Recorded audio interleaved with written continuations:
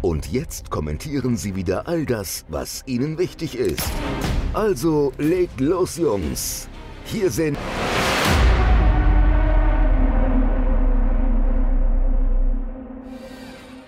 Guten Morgen, Boris Brandt. Schönen guten Morgen. Es ist äh, 13 Grad. Ähm, es ist wirklich ungemütlich draußen an diesem almost very heißesten Junimorgen. Aber ich bin gut gelaunt, ich bin gut drauf. ja, ich bin auch gut gelaunt. Wir gucken jetzt ja nur noch positiv nach vorne. Es gibt nur noch gute Geschichten, ja. außer wenn wir auf unsere Regierung schauen, da kommen wir gleich zu. Äh, aber äh, ich krieg heute, ich, äh, um 10 Uhr klingelt es an der Tür, mein neuer Kleiderschrank wird geliefert. Also sozusagen, wenn man ja mit äh, YouTube viel Geld verdient, kann man sich auch mal neue Möbel leisten. Klang das jetzt ein bisschen arrogant, aber nein. Ja, nee, es ist vor allem das Schlimmste, finde ich das, dass du jetzt so tust, als geht es um neue Möbel, weil dein alter Schrank, die Wahrheit ist, mein Freund, du hast dir, also seit ich dich kenne, setzt du hier permanent, ja, permanent neue Kleidungskosten gegen deine ähm, fünfstelligen YouTube-Einnahmen. Und das wiederum, muss ich sagen, sehe ich kritisch, weil ich habe auch mal die Erfahrung gemacht, wenn man sich so kleidet, wie man sich kleiden will, dann ganz schnell, mein Freund, ganz schnell bist du auf der Titelseite von schmierigen kleinen linksradikalen Zeitungen ähm, und dann bist du plötzlich der Zara-Man, der Louis Vuitton-Man oder irgendwas in der Richtung. Das ist ganz, musst du wirklich vorsichtig sein. Das stimmt allerdings. Und das Schlimme ist ja, äh, als Selbstständiger, du kannst ja jeden Scheiß absetzen. Also. Ja, das stimmt. Hm. Ja, das kannst du. Ja.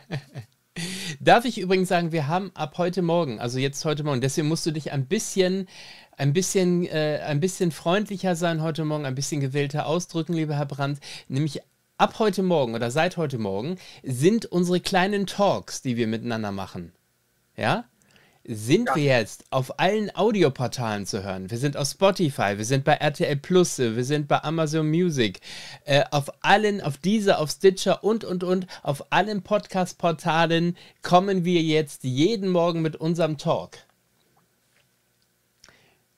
Und du bist schon wieder eingefroren gewesen. Das ist wieder Hamburg, wie es bleibt und lebt. Aber jetzt sehe und höre ich dich wieder. Du bist eingefroren gewesen. Ich habe mich selber brillant in Bewegung gesehen, aber weißt du, was das Irre ist? Ja. Du bist eingefroren in der Sekunde, wo ich neben einem mobilen Blitzgerät stand, das hier aufgebaut wurde auf meiner Strecke.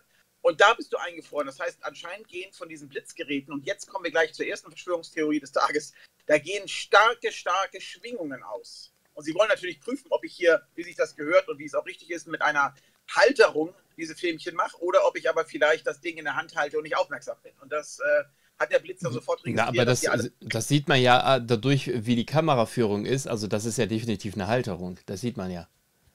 Aber manche Leute, du weißt, wie es ist. Ja. Da sagen sie erst, reden sie über Klamotten, danach reden sie über Halterung im Auto. Das gibt ganz, ganz viel, was es zu diskutieren gibt immer. Und von der Halterung ist man ganz schnell bei Haltung und das ist dann ganz schnell politisch und du weißt, wie es ist. Magst du aber gern mal unsere neuen Zuhörerinnen und Zuhörer von RTL Plus und Amazon Music und so mal begrüßen vielleicht heute Morgen? Ja, einen wunderschönen guten Tag. Hier sind Brand und Battermann, Battermann und Brand und ihre wunderbare Tasse. Bei uns gibt es keine rolligen äh, Katzen, das muss man sagen. Wenn man rollige Katzen haben will, dann muss man zu Bernies Nachtcafé gehen. Äh, bei uns gibt es knallhart serviert, morgens, äh, zwischendurch und auch abends auf verschiedenen Kanälen. Was wir eigentlich machen, das ist tatsächlich jetzt die Wahrheit und im Ernst. Wir wollen einfach nur eins, wir wollen, dass ihr einfach ein bisschen gut unterhalten seid, dass ihr eine Alternative habt zu dem Fernsehen, äh, was so komische Geschichten am laufenden Band erzählt, die wir immer die gleichen hören und so. Bei uns hört ihr, das und das ist garantiert, jeden Tag neue Geschichten, die sich nicht wiederholen. Ja, genau. Und äh, es gibt eine Geschichte heute Morgen, die haben wir noch nie im Leben besprochen, weil ich wusste sie vor heute Morgen gar nicht. Siehst du? Es könnte eventuell passieren, dass wir im nächsten Jahr sagen: Herzlich willkommen, Bundeskanzlerin Angela Ber äh, äh, Annalena Bergbock, äh, Baerbock. Mein Gott, Entschuldigung, ah, ich bin völlig durch, durch. Das hat mich so geschockt. Annalena möchte Bundeskanzlerin werden, hat sie offiziell gesagt. Also, sie könnte sich das vorstellen. Jetzt weiß ich allerdings nicht, wie die Gesichtszüge von Herrn Habeck daraufhin entgleist sind. Ähm, wie immer, der hat wuschelige Haare und guckt dumm aus der Wäsche. Das Tolle ist das, das sind die Kindergartenkinder, ähm, die äh, gerade ihren, ihren ganzen Teller mit Essen runtergeschmissen haben, dann reingetreten sind in die Suppe, ausgerutscht sind, mit dem Hinterkopf auf den Boden geknallt sind und dann sagen, sie würden gern Küchendienst machen. Das ist Annalena Baerbock, das hat sie früher immer schon so gemacht, auf dem Trampolin mit den Leuten mit dem Kopf zusammenstoßen. Bis heute merkt man ja die Folgen. Und äh, dann immer noch sagen, sie will Trampolin-Weltmeisterin werden. Das ist, wird nicht stattfinden. Die Grünen haben äh, so viel jetzt ja schon so viel verloren wie nie. Die Grünen sind eine Partei, die genauso wie damals hier die furchtbaren Nazis oder so, die, die völlig unwählbar sind und die es nur noch als radikale Minderheit geben wird. Das wird niemals passieren, dass Annalena Baerbock äh, Bundeskanzler wird. Never, ever, niemals, nie. Also sie wird nicht die neue Raute-Frau? Nein. Bestimmt nicht. Okay. Sie wird überhaupt gar nichts werden. Diese Frau ist, die, ist nachweislich international eine der größten Versagerinnen, die unser Land jemals hervorgebracht hat. Äh, sie ist äh, getoppt wird sie nur noch durch den Mann, der von Wirtschaft so viel Ahnung hat wie ich von der Hege und Pflege von Schnittlauch. Insofern, ähm, also das wird nicht passieren, das werden wir nicht erleben. Auch Herr Habeck wird niemals Kanzler werden. Er kann ja antreten. Man sieht ja schon dran, wie dumm sie sind, dass sie zwei Tage vor der Wahl allen Ernstes riesige Plakate überall plakatiert haben, wo drauf steht, gemeinsam gegen rechts. Die sind so verstrahlt, die sind so weit weg von der Welt, die haben so wenig Respekt vor normalen Menschen, die hassen ihr Volk, das ist wirklich durchgeknallt. Und mir tun alle Menschen unendlich leid, die übrigens, wie ich auch mal tatsächlich, äh, die mal daran geglaubt haben, dass äh, bei den Grünen vor allem die gute Idee im Vordergrund steht und die das Bemühen, sich für die Umwelt einzusetzen. Darum geht es überhaupt nicht. Es geht darum, Maß zu regeln, Leute ähm, zu, zu, zu demoralisieren, äh, Besitz ähm, sozusagen zu zerstören und sowas alles. Der Umweltschutz, wenn das denen wichtig wäre, dann würden sie das tun von Anfang an, vor allen Dingen gegen Plastik. Denn Plastik und Mikroplastik ist das, was unsere Welt tatsächlich ernsthaft bedroht. Das ist richtig schlimm und man kann es mit dem Geld, das sie ausgeben für irgendwelchen Dreck in der dritten, vierten, fünften Welt, für irgendwelche Frauen im Wald von Sunabuna, das ist so Banane, dass ich mich so aufregen könnte. Und wenn sie das Geld nehmen würden und würden zum Beispiel das in Asien spenden dafür, dass nicht 80 Prozent allen Plastikmülls in Asien in die Flüsse geht. Das ist ganz einfach zu machen. Da müssen Filter rein, da müssen Auffanganlagen rein. Das kostet Geld, aber es kostet lange nicht so viel Geld wie völlig sinnlose Fahrradwege, wie Kühlschränke in Kolumbien ähm, und nachhaltiger Reisanbau in Thailand. Insofern diese, diese Truppe ist eine so dermaßen wahnwitzige Versagertruppe, die so wenig Ahnung hat, die so wenig Haltung hat, die so wenig, äh, die hat gar nichts. Die ist einfach nur furchtbar schlimme, stinkende, heiße Luft. So. Oh, also liebe Freunde im Streaming, die ihr uns heute Morgen das erste Mal hört, das müsst ihr jetzt jeden Morgen genauso ertragen. Das darf ich schon mal an dieser Stelle erwähnen. Nur weil du mich angezündet hast. Ich hätte ja. nie was gesagt. Ich hätte über Joghurt geredet. Ich hätte über Na, ich, ich, und dabei wollte ich eigentlich nur über Schnittlauch reden und wollte dich fragen, was hast du gegen Schnittlauch? Also, äh, Schnittlauch, aber ich kenne mich mit der Hege und Pflege nicht aus. Aber Bobo, damit wir noch ganz kurz wo wir im Thema drin sind, äh, da sehe ich gestern Abend das äh, Video, das neue Video von unserer Freundin, ähm, von unserer Freundin Yvonne Moulin. Ja. Die unter anderem äh, gesagt hat, nachdem sie das Thema Kim Virginia und ihrem Stiefvater AfD und so weiter, weil sie die Trash News der Woche präsentiert hat, das nochmal zum Thema gemacht hat und sich ganz klar positioniert hat, indem sie sich nicht positioniert hat, nämlich indem sie nämlich gesagt hat, sie äußert sich politisch nicht, weil sie nicht genug Ahnung davon hat, um sich zu äußern. Da habe ich gelesen, das äh, war der ein oder andere Kommentar durchaus auch ein bisschen kritisch mit ihr, der da sagt, wenn man so eine Reichweite hat, dann sollte man entweder sich positionieren und wenn man aber sagt, dass man keine Ahnung hat, gäbe es ja die Möglichkeit, sich Ahnung zu verschaffen. Äh, wie siehst du das? Ja, also ich sag mal so, es ist eigentlich ganz einfach. Natürlich kann man sich die Ahnung beschaffen, aber die macht doch was ganz anderes. Genau wie wir was ganz anderes machen. Wir müssen, wir sind nicht dafür zuständig, politische Meinung zu verbreiten. Ich mache das, weil das meine Leidenschaft ist und weil, und das, das ist der Unterschied, weil ich das machen kann. Ich kann meine Meinung immer sagen, weil mich kann man nicht bedrohen. Mich kann man nicht arbeitslos machen. Bei mir gibt es keine Arbeits, ähm, äh, äh, keine Chefs, keine Firmen, die mich irgendwie rauswerfen, wenn irgendwas rauskommt. Gibt es alles nicht.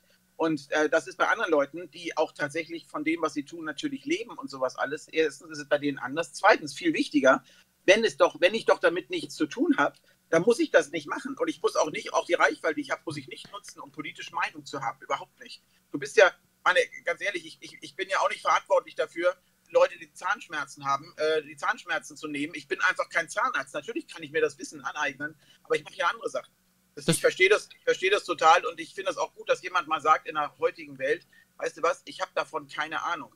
Das ist das, was unsere Welt im Moment gerade eigentlich ehrlich gesagt braucht, weil wenn du siehst, wenn heute irgendwas passiert, wenn heute Krieg ausbricht zwischen Ütschenbütschen und Bütschenütschen, ja, dann werden sofort alle sagen, oh, was denkst du denn davon? Ja, wer hat denn da?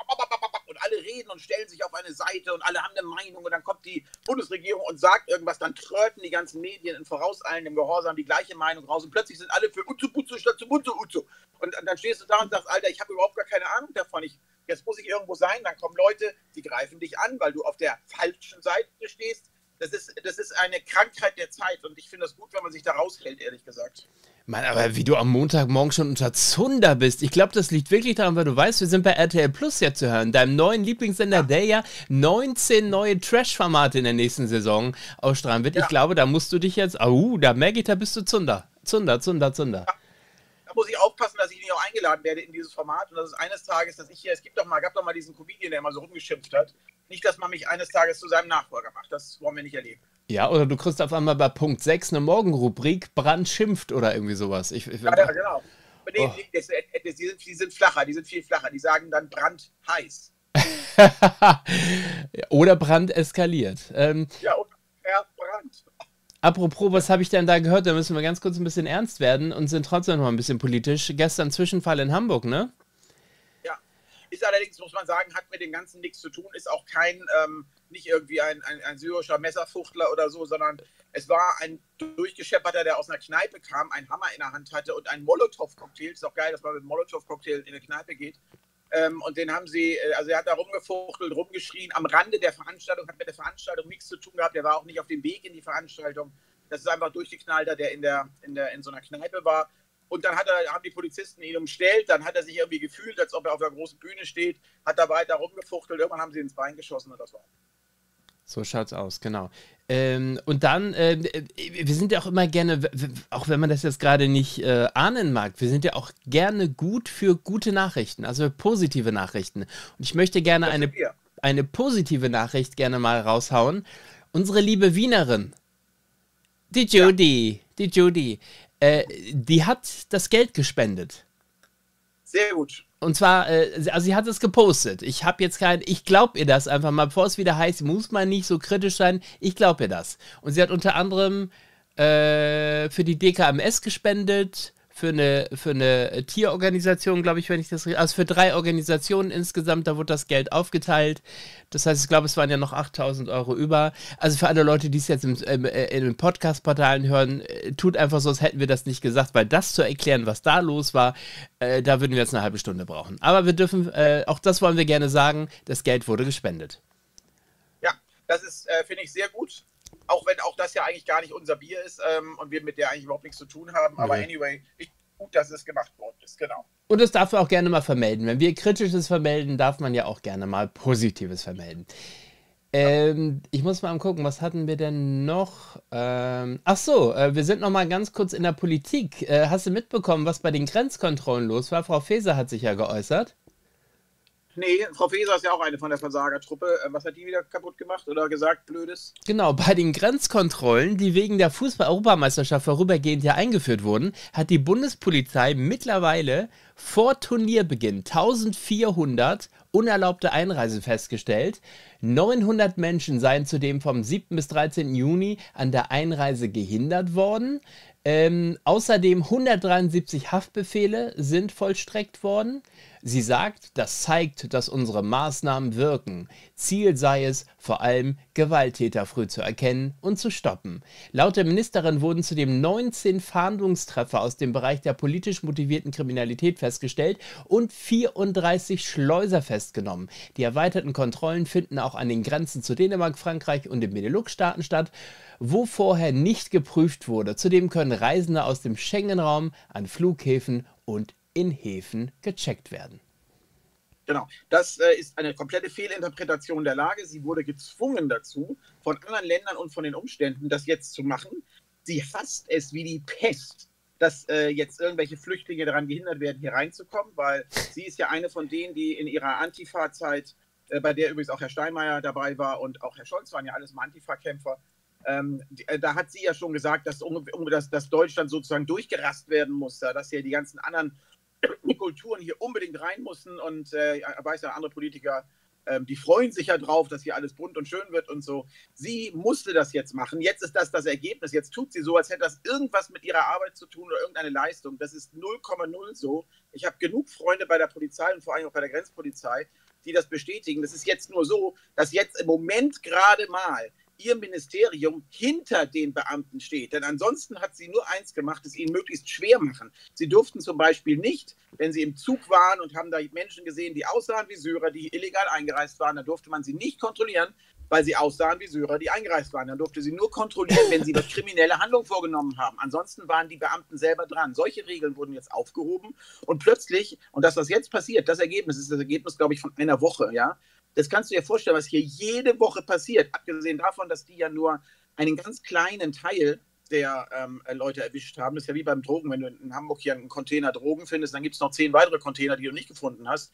Das ist bei den Kriminellen, die hier einreisen, genau das Gleiche. Das heißt, diese Überflutung mit Illegalen geht einfach weiter. Nur sie wird jetzt so ein bisschen begrenzt, das spricht sich jetzt rum. Das ist auch nach der EM betroffen. sofort wieder alle Grenzen herrlich aufmachen, alle wieder einreisen lassen. Die Schleuser werden, die sind ja nicht lange im Knast, die sind zehn Minuten im Knast, halbe Stunde vielleicht, manchmal auch overnight. Aber das macht ihnen nichts aus, weil endlich mal schön warm in der Zelle bei. Ich wollte gerade sagen, eine Mahlzeit, äh, gibt doch eine Mahlzeit for free? Ja. Ja, natürlich. Hallo, das ist äh, vom Feinsten. Da gibt es gar kein Problem. Ärger, ärgerlich ist diese Dreierzelle vielleicht oder eine Zweierzelle. Das ist nicht so gern genommen bei, bei den Schleusern. Aber Sie kennen das ja dass man so, sage ich jetzt mal, äh, auf engem Raum zusammen ist über längere Zeit. Das kennen die, das ist äh, kein Problem. Ja, also ich hatte damals so eine Zweierzelle, aber das ist ein anderes Thema, darüber wollen wir nicht mal sprechen. äh, da, äh, wir wollen ganz schnell im Bereich des, äh, der Promis und Gossip gehen. Möchtest du zuerst über Kati Karrenbauer oder über Kati Hummels sprechen?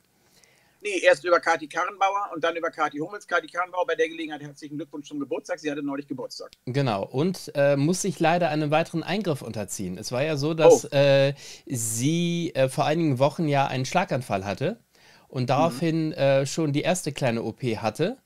Mhm. Und, äh, und danach berichtet hat und so weiter, dass sie wirklich unter, unter Todesangst gelitten hat und wirklich es ihr ganz schlecht damit ging. Und jetzt ist leider, leider, leider ein weiterer Eingriff äh, fällig. Ich äh, mache mal schnell die Meldung auf. Und zwar heißt es, ähm, sie muss sich erneut eine Operation an der Halsschlagader unterziehen. Bereits vor kurzem habe die 61-Jährige eine solche Operation aufgrund eines leichten Schlaganfalls über sich ergehen lassen.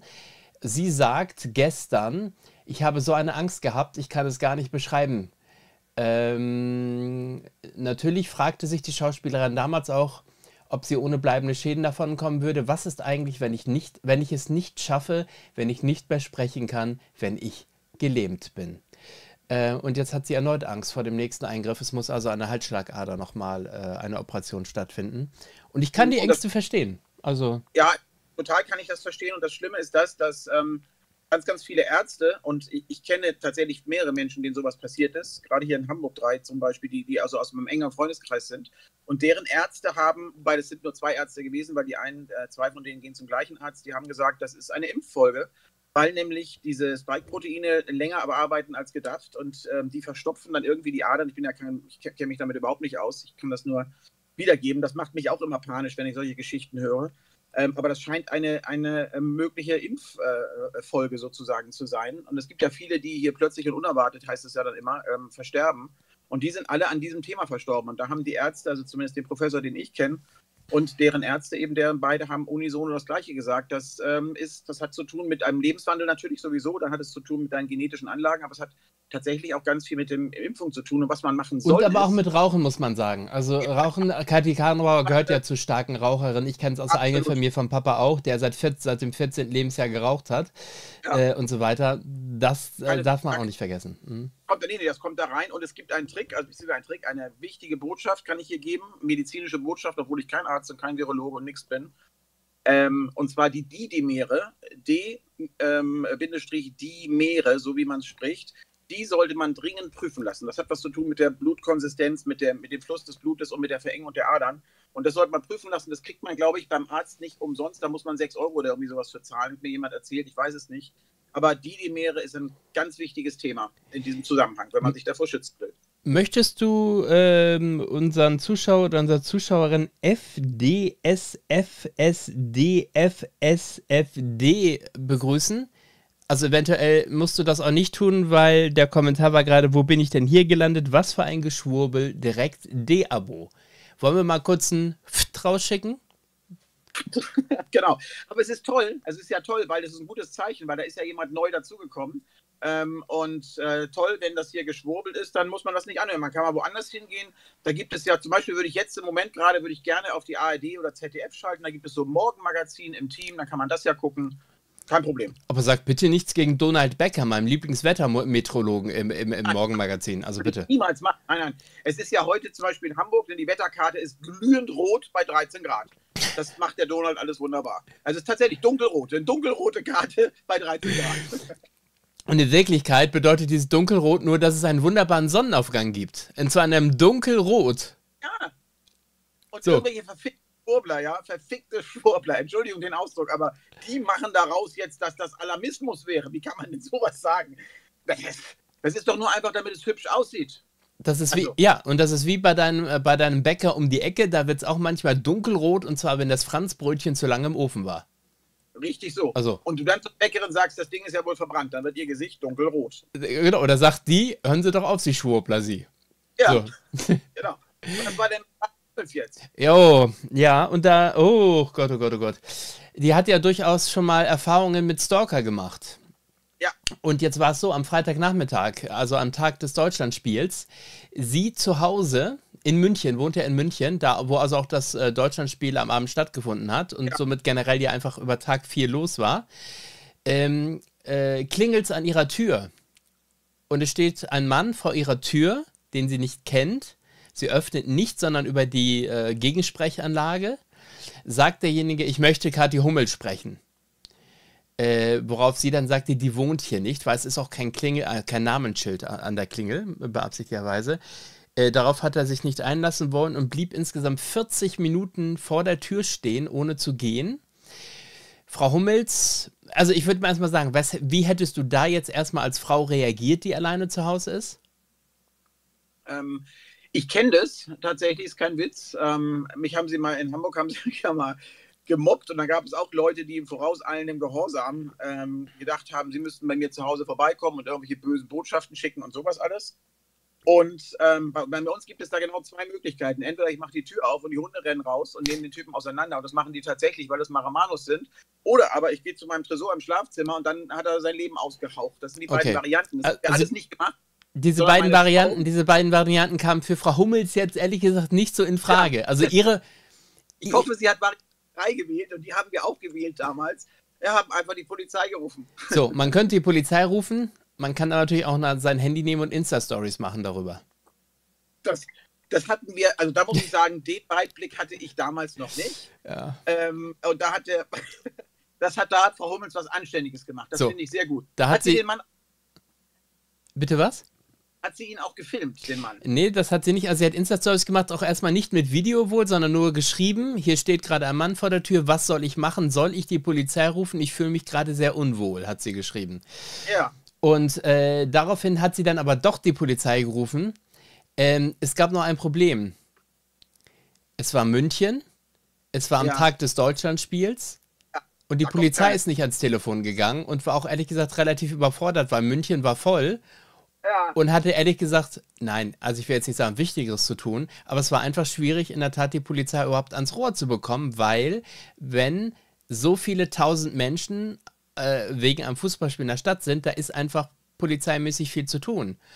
Ja. Und das war schwierig. Und dann hat sie ihren Papa versucht zu erreichen, ob der ja. irgendwie mal eben rüberkommt. Ja. Und äh, äh, ja, und es war einfach ganz schwierig. Und dann hat sie noch eine Insta-Story gemacht, wo ihr dann die Tränen übers Gesicht liefen. Ich weiß jetzt ja. allerdings nicht, ob mit Teleprompter oder mit äh, Moderationskarte in der Hand. Ja, und ich muss dazu sagen, man sieht es wieder deutlich, Variante 1 oder 2 wären effizienter gewesen. Das hätte man ja auch filmen können. Also, wenn ich meine Hunde rauslasse und filme das, ich habe das ja einmal gemacht, ich habe das ja einmal erlebt, als wir Einbrecher auf dem, äh, auf, auf dem Gelände hatten und ähm, ja, hinterher gab es dann von irgendwelchen linken Anwälten gab es dann eine, eine, Klage von dem, weil wir angeblich dieses Einbrechen überbewertet hätten. Sie hätten ja schließlich nur ein Kinderfahrrad geklaut und mein Hund hat halt dem hinten die äh, Achillesferse entfernt. Also nicht gebissen, sondern hat sie ihm entfernt. Der Mann kann nie wieder richtig gehen. Das tut mir natürlich leid, aber er hätte sich nicht auf dem Grundstück aufhalten müssen. Und das, äh, das wäre Variante gewesen, die für sie auch besser. Sie sollte sich einen Hund besorgen. Wobei, Hunde, da muss man auch wieder mit denen sprechen. Ich weiß es nicht. Ich, ich denke bei Kathi Hummels immer, ich möchte sie eigentlich gerne jetzt, also das hat jetzt nichts mit, mit ähm, tiefen Gefühlen zu tun, aber Kathi Hummels ist jemand, da denkt man immer, Also denke ich immer, den müsste man mal in den Arm nehmen und sagen, Kathi, jetzt hör doch auf mit der Scheiße. Du bist doch ein hübsches Mädchen. Es ist doch eigentlich alles in Ordnung. Was soll denn der ganze Zauber immer mit diesem ganzen Abnehmen und diesem Drama und sowas? Also mach doch einfach ein schönes Leben. Du hast doch alles, ist doch alles in Ordnung. Warum musst du denn unbedingt dieses Zeug machen? Warum musst du dieses Elende moderieren? Kannst du nicht denen sagen, ich moderiere das, aber nur ohne Karten?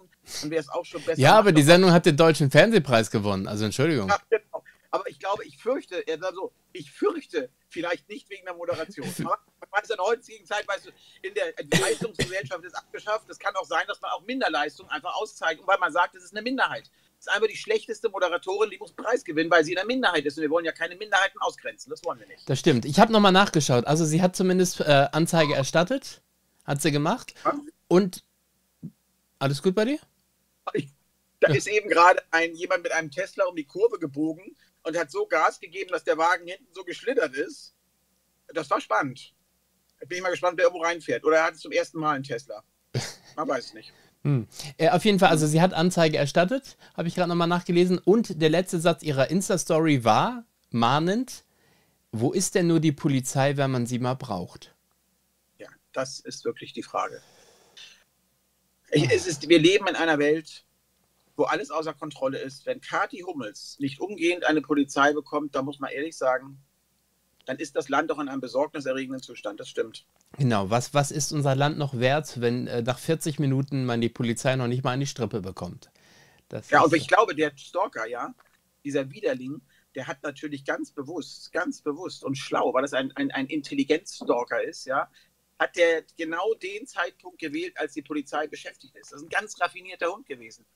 Und die Frage ist ja, was wollte er von ihr? Vielleicht wollte er einfach nur, dass, er, dass sie die Schulden bezahlt. Aber oh, also, nein, also Entschuldigung, nein, es kann ja erstmal sein, dass er ein Autogramm wollte, dass er sagen ja. wollte, hier heute ist äh, EM-Eröffnungsspiel Deutschland. Ich wollte einfach mal mein Deutschland-Trikot dir zeigen oder meine ja. äh, Vuvuzela. Ich weiß gar nicht, gibt sie dieses Jahr auch mal wieder? Äh, weiß ich nicht. Nee, na, verboten, Ausgrenzung, bla. Ah, okay. Äh, oder er ist gegen irgendwie was, man weiß es nicht. Oder er wollte ihr seine Fahne zeigen oder ich weiß es nicht. Also am Ende weiß ich es einfach nicht. Aber äh, es hätte, also es könnte ja auch was theoretisch Positives ja. gewesen sein. Man muss auch aufpassen, nicht, dass ähm, äh, Daniela KX571283 DSDS ABCDEFG, dass die jetzt aussteigt aus diesem Talk, weil das hier rumgeschwurbelt wird. Man muss mal ganz deutlich sagen, natürlich egal wann und wie und wo, wenn jemand bedroht wird, sollte relativ schnell die Polizei da sein. Ich finde es natürlich auch skandalös, finde ich ernsthaft skandalös, dass es ja in Deutschland äh, in, in den meisten Regionen gar keine Streifen, also diese 0815, diese, diese Sicherheitsstreifen, dass es die gar nicht mehr gibt. Die wurden irgendwann abgeschafft. Ähm, das wird nicht mehr patrouilliert, in Anführungsstrichen sozusagen, weil man gedacht hat, in dieser heilen, schönen Welt braucht man das nicht. Das ist ein Irrtum. Und äh, ich finde es bedauerlich, dass wenn jemand tatsächlich da 40 Minuten Angst hat und nichts passiert, finde ich das schon schlimm. Und wir haben ja übrigens, wir haben ja übrigens einen Chat, 200 Menschen sind heute Morgen schon da. Guten Morgen übrigens ja. in den Chat. Äh, äh, ein Chat, der ganz äh, wachsam ist und, und informiert uns gerade drüber. Kathi Hummels hatte schon mehrere Hunde, die sie immer wieder abgegeben hat nach kurzer Zeit. Also ich möchte bitte, dass du relativierst, oh. dass sie sich einen neuen Hund anschafft, bitte. Nein, ich möchte niemals, ich habe niemals, ich möchte das in Abrede stellen. Ähm, es ist nicht so, dass Kathi Hummels einen Hund haben sollte. Sie sollte definitiv keinen Hund haben, weil sie hat sich leider nicht qualifiziert für den Hundeführerschein. Sie ist nicht in der Lage, Hunde zu haben und wahrscheinlich waren es immer so Deko-Hunde und keine Arbeitshunde. Wir haben Arbeitshunde. Die arbeiten. Das sind Maremanos, italienische Berghunde, die normalerweise die Schafsherde alleine betreuen. Da brauchst keinen Schäfer mehr und die dafür sorgen, dass zum Beispiel der Wolf nicht kommt. Denn das sind die einzigen Hunde mit den Kangals zusammen, vor denen der Wolf furchtbare Angst hat. Und das gilt übrigens auch für Einbrecher auf meinem Grundstück. Und ansonsten, ansonsten, vielleicht möchte Bernie Bärchen ja eine rollige Katze abgeben. Also wäre was für Kathi Hummels. Ich glaube aber, dass tatsächlich, ähm, ich weiß nicht, aber Stalker haben vor rolligen Katzen nicht unbedingt immer Angst. Aber die können schon echt nervig sein. Vielleicht ja. geht ein Stalker denn freiwillig und sagt, das Gemaunze ja. tue ich mir jetzt nicht weiter an. Wobei ich sagen muss, da darf ich auch kurz berichten, weil du bist ja nicht auf dem aktuellen Stand. Am Dienstag war Bernie Bärchen beim Tierarzt, die Katze ist kastriert. Ja, das tut mir leid. Also, und seitdem ist sie ruhig und ganz schmusig, hat er gesagt, gestern Abend im, im Stream. Und er hat sogar, weil er hatte, äh, als er zum Tierarzt gegangen ist, obwohl die nur irgendwie, glaube ich, der Tierarzt war nur zwei Kilometer entfernt, ähm, er hatte aber nur so eine komische Plastikbox, die jetzt nicht besonders angenehm ist zum Transport. Und hat jetzt extra für die rollige Katze, also ehemals rollige Katze, sofern muss man sein, ähm, hat er extra ein neues, eine neue äh, Transportbox gekauft, die richtig schön ausgestattet, ist, also so eine XXL-Box und so weiter. Wahrscheinlich, äh, weil er auch sagt, ich verdiene jetzt ja auch ein bisschen was über YouTube, das kann ich auch mal in eine tolle Transportbox investieren. Und dann muss man sagen, toll. Also Bernie kümmert sich um seine Katzen. Der Bernie hat ein gutes Herz, das muss man einfach sagen, so ist es. Und auch Und da darf ich, darf ich kurz vermelden, äh, da ja. hat er ja äh, gesammelt eine Woche lang fürs Tierheim äh, in Berlin. 1800 Euro, ne? 2000 Euro insgesamt. 2000, 2000, denn er hat ja aufgestockt sozusagen. Ja, ja. Und 2000 Euro sind da zustande gekommen. Hut ab, super. ohne Ironie, super. Hut ab, äh, das finden wir ganz toll. Ja, super. So, äh, bist du schon am Ziel?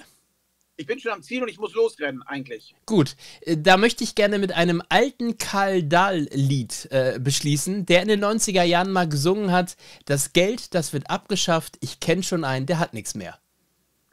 So, in diesem Sinne wünsche ich dir einen schönen Start. ja, oder? War auf wegweisend, Karl Dahl. Also, das ist ja. Ja, ganz ehrlich, also da, damit spätestens jetzt ist DFDS, ABC, AGM 17.2 hoch 15, jetzt lieber auch weg, weil das ist jetzt wirklich eine Schwurbelscheiße, die hier abgeht. Jetzt quatschst du uns alle in die Pleite, das ist nicht schön zum Montagmorgen. Das stimmt. Heißt das, Karl Dahl war schon in den 90ern ein Schwurbler, als wir den Begriff noch gar nicht kannten? ja. Ach, nee, gut. In diesem, diesem Sinne, ich wünsche dir einen schönen Morgen. Bis dann. Ciao, ciao.